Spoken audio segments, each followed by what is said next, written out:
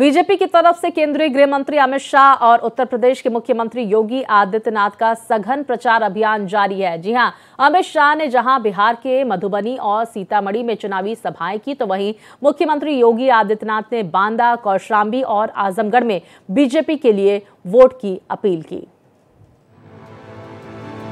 केंद्रीय गृह मंत्री अमित शाह गुरुवार को बिहार में चुनावी रैलियाँ करने पहुँचे।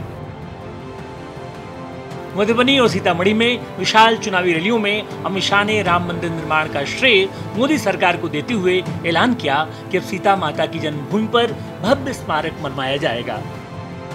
भारतीय जनता पार्टी वाले वो वोट बैंक से नहीं डरते हैं।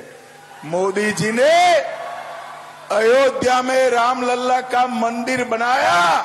एक काम पूरा हुआ, अब काम बाकी है। माँ सीता की जन्मभूमि पर महान स्मारक बनाने का था और ये जो अपने आप को राम लल्ला के मंदिर से दूर रखे हैं, वो नहीं बना सकते। योगी आदित्यनाथ भी लगातार एक ही दिन में कई कई रैलियाँ करने में लगे हैं। गुरुवार को बांदा कौशाम्बी के साथ साथ आजमगढ़ भी चुनाव प्रचार करने पहुँचे। योगी आदित्यनाथ ने कहा कि अब हर जगह से एनडीए 400 पार का नारा गूंजने लगा है।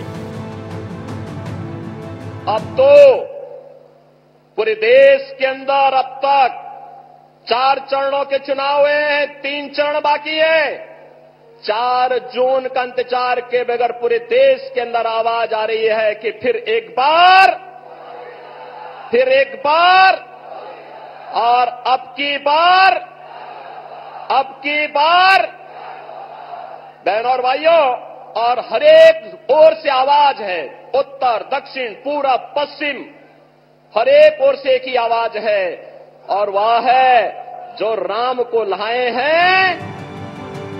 बीजेपी के दोनों बड़े नेताओं ने चुनावी रैलियों में दावा किया कि बीजेपी सरकार ने 10 सालों में देश में बड़ा बदलाव किया है और देश की सीमाओं को सुरक्षित रखते हुए देश के अंदर महिलाओं को भी सुरक्षा दी है।